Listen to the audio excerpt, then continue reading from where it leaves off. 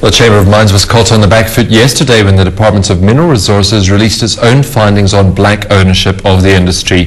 Now, this was despite an agreement both sides would keep their findings under wraps pending a court process to provide clarity on key definitions. Nevertheless, the Chamber has now released its own assessment Joining me with more detail is Head of Economics, Monique Mathys. Uh, Monique, thank you very much for coming in. So um, there seems to be quite a disparity between the Chamber's assessment of ownership and the Department's assessment. Why is that? There are certain elements within the mining charter scorecard where we do have areas of disagreement. But as you'll see in our release we have made today, we've set out how the department has scored based on the releases yesterday and how the chamber has scored. And in fact, based on that, you'll see that in half of the areas, we're actually in agreement. Our, our, main contention around the way the information is presented is that all of the elements, even where we've done well, is presented in a negative light. So you mentioned the contention around the ownership issue. It wasn't around the entire charter. We're comfortable with the results of the charter being released, but as you indicated, because the ownership element of it is subject to a declaratory order or legal process around some of the definitional issues, we did have an agreement that that information would not be released. So yes, we were somewhat disappointed at the fact that those, the information pertaining to ownership specifically was released. On the ele other elements of the mining charter, we believe that there are, are key areas where we are in agreement with the D DMR in terms of the performance. Uh, for example, on employment equity, in their statement they indicated that the, the industry has exceeded the target of 40, 40%. We're in agreement there. So there, there they aren't, it's not on every single area. We think we're about halfway there. And that's before engaging on the specifics of the issues. We, we do hope once we have had a chance to see and view the final report, we will be able to interrogate and certainly that will allow us for the remaining half where we, we are different to be able to come closer together. Monique, do any of the Chamber's members not meet the ownership criteria according to your assessment?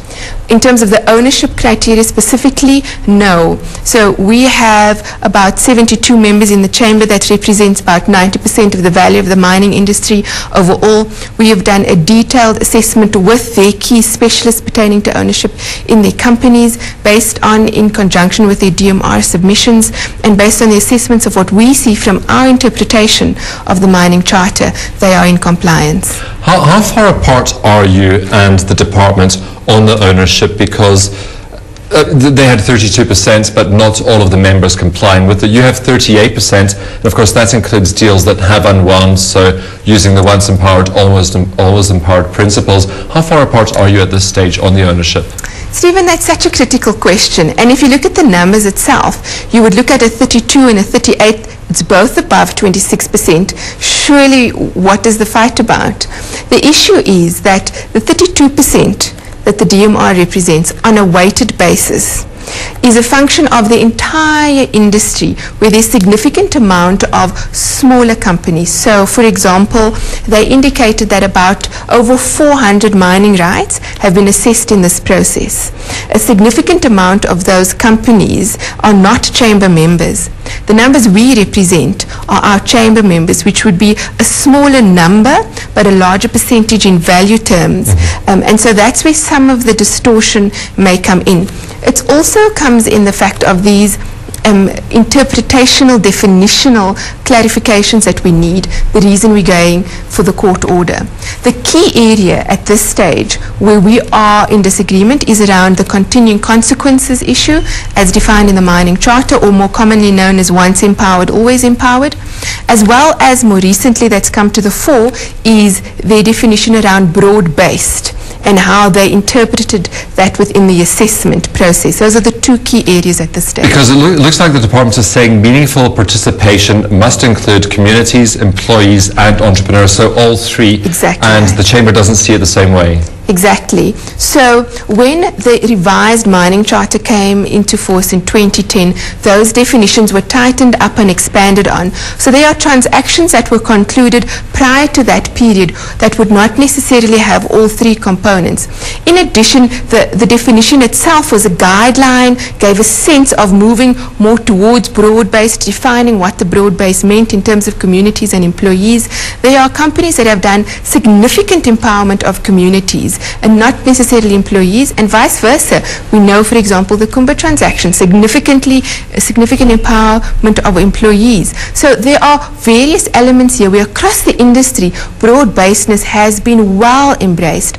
On our numbers, we show that we believe 63% of those of our of our industry, based on chamber members, are from B entrepreneurs, leaving 22% to communities and 15% to employees. So if you look across the industry, certainly from our perspective, it does appear that broad-basedness has been capitulated. So those are one of the issues we're going to have to draw closer to each other on. Uh, so, so Monique, when, when we're looking at this declaratory order from the court, it would include the principle of uh, continuing consequences, or uh, as we talked about, once empowered, always empowered, as well as the broad-based elements. It would need to look at the broader definitional issues um, and principles around the Charter itself with a view of, of getting clarity on those issues, yes. So the, the numbers then that the DMR released yesterday on ownership and the numbers that you come out with today, I mean, essentially they're meaningless until we have that dec- declaratory order, aren't they?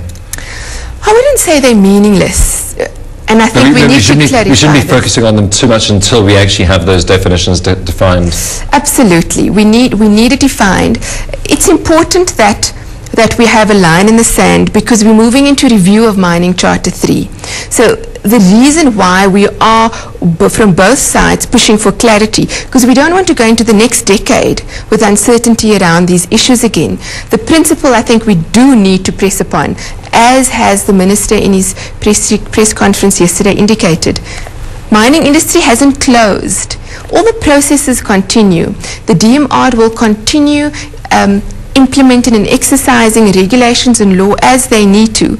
Um, at the same time, we will continue to operate and continue to ensure the transformation occurs in the industry as is our responsibility.